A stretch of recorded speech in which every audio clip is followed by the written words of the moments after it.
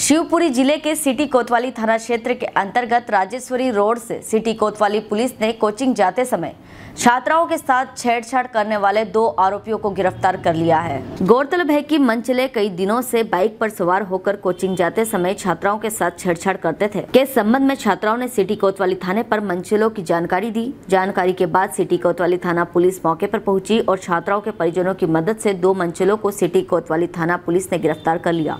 City कोतवाली थाना प्रभारी अमित भदौरिया ने जानकारी देते हुए बताया कि दो से तीन दिन से लगातार छात्राओं के साथ मंचले छेड़छाड़ कर रहे हैं।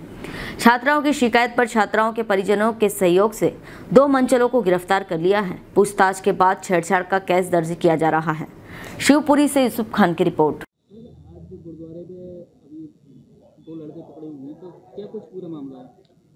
कुछ बच्चियाँ दो तीन दिन से ये कोचिंगों पे जा रहे थे बच्चियों के पीछे। और उनको देखना और छेड़खानी जैसी हरकतें कर रहे थे। आज मौके पे हमारी पुलिस ने वहाँ उनके परिजनों के सहयोग से उन्हें पकड़ा है और उनके विरुद्ध छेड़खानी की एफआईआर की जा रही है और सख्त वैधानिक कार्रवाई की जाएगी। जो कानूनी कार्रवाई होगी, वो की जाएगी। हेलो फ्रेंड्स आप देख रहे हैं हमारा channel S W twenty four news हमारे सारे वीडियो सबसे पहले देखने के लिए आप हमारे चैनल को सब्सक्राइब करें और पास में लगे बेल आइकन को दबाना बिल्कुल भी ना भूलें।